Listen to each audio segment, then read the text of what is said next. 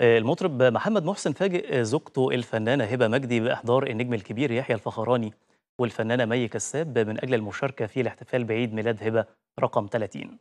آه، أقام احتفالية بسيطة كده اقتصرت عليهم وعلى عائلتهم وعدد قليل من الأصدقاء المقربين وده كان في حالة من البهجة اللي عاشتها هبة في هذه اللحظات. آه، بتربط هبة مجدي طبعا وزوجها محمد محسن علاقة قوية جدا بالنجم يحيى الفخراني لأن هم اتعرفوا على بعض من خلال النجم الكبير أثناء عرض مسرحية آه، ليلة من ألف ليلة ودي كانت على المسرح القومي ونشأت بقى ما بينهم قصة حب اتكللت بالجواز وكان الفخراني شاهد على عقد القران وبقت في يعني الحقيقة آه، حالة بقى من الود والزيارات ما بين هبة ومحمد محسن ودكتور يحيى الفخراني طول الفترة اللي فاتت وهي طبعا بنقول لها كل سنة وانت طيبة.